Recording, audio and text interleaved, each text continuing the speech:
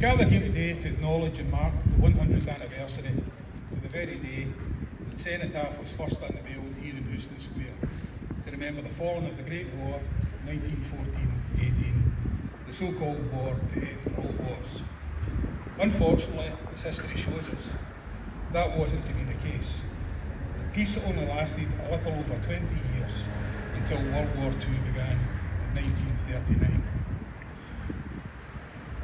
This memorial was funded by the people of the town through various fundraising efforts and was unveiled on this day 100 years ago by Lieutenant General Walter P. Braithwaite to an assembled crowd of many thousands of people who had gathered here to witness the event.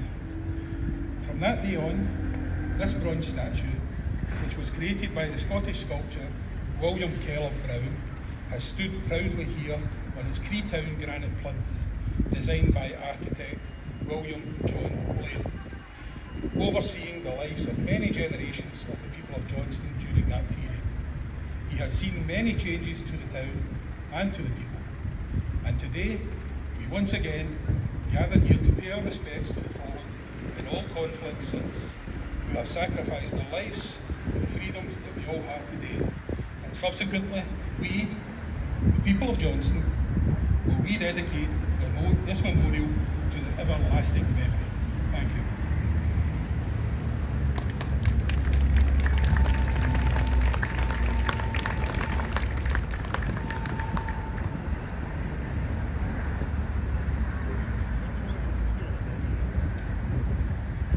Today we gather with hearts heavy with remembrance yet lifted by resilience commemorate a milestone of history, the 100th anniversary of the Johnstone War Memorial in Renfrewshire. And this monument is dedicated not just to names, but to people, people behind those names. Their stories of bravery, sacrifice and unwavering dedication to the ideals of freedom and peace. And each name represents a life laid down in service to our nation and, and families who were poignant reminders of the cost of conflict and the enduring importance of honour and duty. And as we stand here today, we're not merely observers of the past, but custodians of the future. And it's our responsibility to ensure that the sacrifices of those who came before us are never forgotten and that their courage and valour continue to inspire generations yet unborn. But remembrance is not solely about looking backward, it's also about looking forward with hope and determination.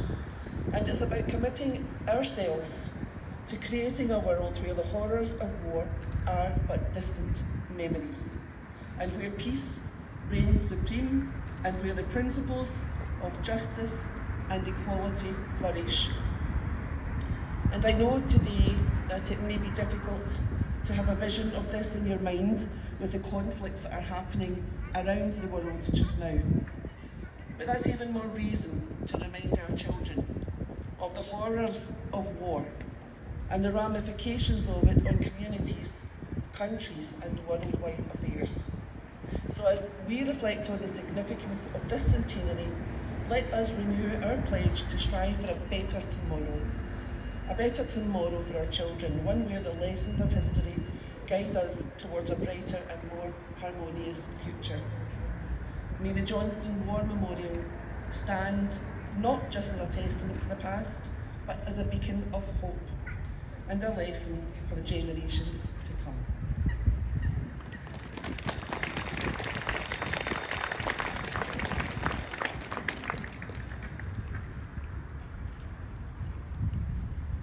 Well, good morning to you all. When the guns fell silent at the end of the First World War, there were very few war memorials across the land as we come to know them today.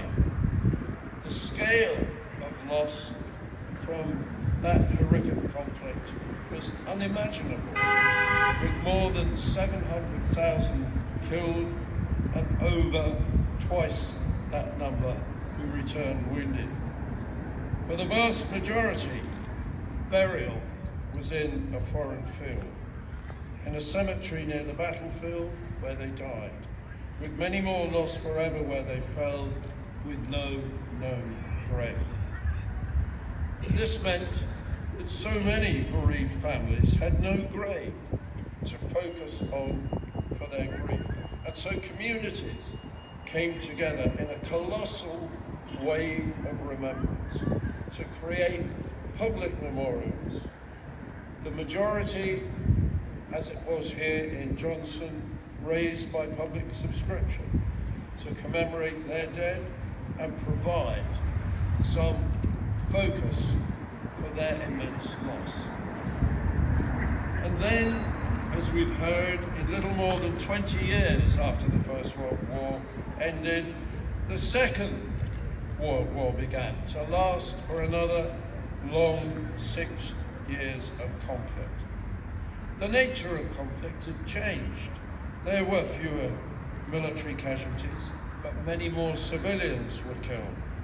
And again, the fallen were remembered in local war memorials across the land, as they have been in the smaller conflicts since. So today, we're here to rededicate the war memorial here in Johnstone that was unveiled, as we've heard, exactly 100 years ago today, on the 10th of May 1924. Newspaper articles of the day described the ceremony as being of a most impressive character. And ex-Provost W.B. Lang, who was chairman of the Johnstone War Heroes Committee, handed over the War Memorial to the custody of the Town Council, and it was accepted by the then Provost Keeney on behalf of the community. The town band played in the bandstand and local church choirs all came together to accompany the band in a service of praise. And in his speech, the visiting officer, Lieutenant General Sir Walter Braithwaite, Commander-in-Chief of the Scottish Command, spoke of the lessons of, from the war and the splendid gallantry of the incomparable Scots. But it's the photographs of that ceremony that perhaps tell the most compelling story. With the memorial surrounded on all four sides, with crowds in their thousands, and the harrowing pictures of rows of women and children united in their grief, waiting with their floral tributes to be placed in memory of the fallen. Sons, brothers, fathers, and husbands who would never again return. Today, war memorials are a distinctive and familiar part of our heritage, and it's estimated that there are more than 100,000 war memorials featuring prominently on the skyline of nearly every community across the UK. They were and remain a historical touchstone of our nation's sacrifices, our personal collective memories, commemorated in stone. The Johnstone War Memorial is a striking monument that has sat conspicuously in this square for the last hundred years the bronze figure depicting a soldier from the Argyll and Sutherland Highlanders, a Highland regiment that alone raised more than 15 battalions in the First World War. And the soldier stands aloft, watchful, purposeful, and resolute as a permanent, silent reminder of the town's sacrifice in the First World War and in the conflict since and on the second Sunday in November each year. This memorial continues to be the focal point for the Act of Remembrance here in Johnstone, led by the Royal British Legion Scotland, where the community comes together to remember and reflect on the sacrifices made by so many sons of Johnstone over the last hundred years. Heedful too, perhaps, of the lessons that we need to be still learning from the far-reaching consequences of conflicts for the individuals, the families and the communities that are left behind. And finally, as the Provost has already touched on, looking to the future, encouraged by seeing a good number of our young people present here today who've come to witness this rededication of the Johnstone Memorial. May we also look forward with some confidence in the hope that the historic legacy that this monument to the fallen represents will continue to be faithfully preserved and safeguarded by the coming generations. Thank you.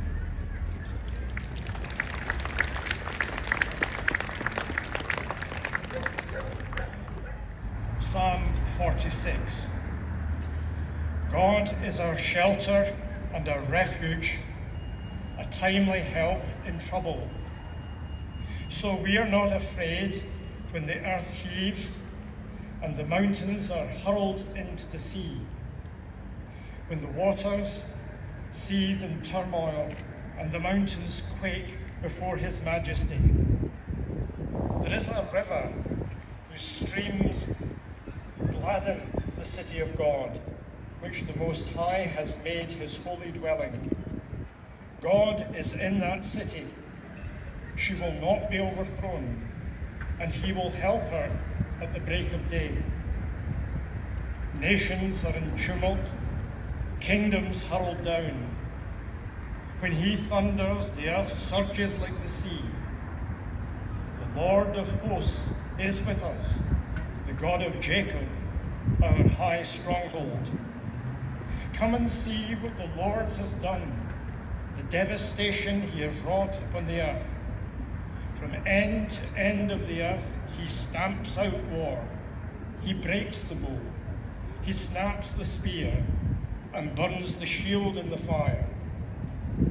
Let be then, learn that I am God, high over the nations, high above the earth.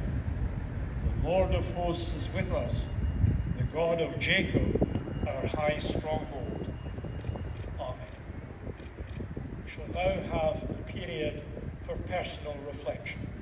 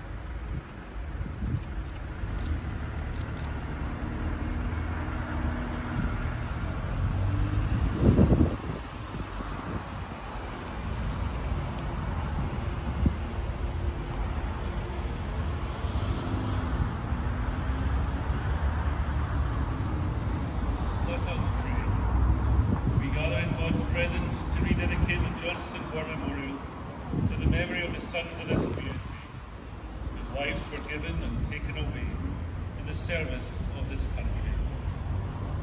We remember them with thanksgiving and with sorrow. We pray for those who continue to live and die for the peace of the world. We commit ourselves to work for reconciliation between the nations, that all people may live in freedom, justice and peace. We pray for all who bereavement, disability and pain continue to suffer the consequences of fighting and terror. We make this prayer through Christ our Lord. Amen.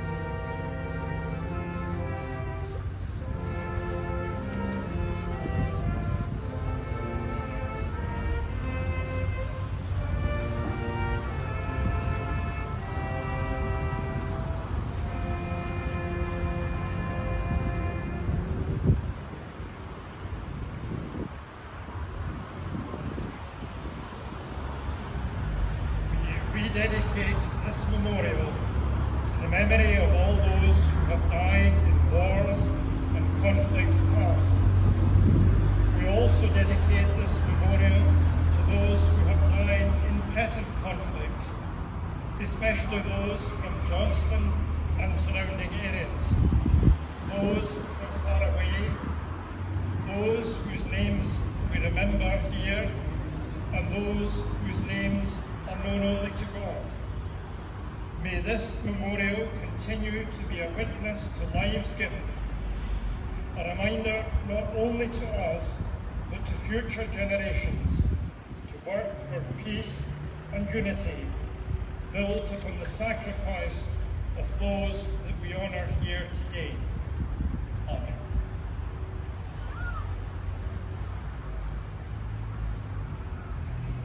Grant the living grace, the departed rest, the church, the king, the commonwealth, and all the world, peace and concord. And may the blessing of God, the Almighty, the Father, the Son, and the Holy Spirit come down upon you and remain with you forever. Amen.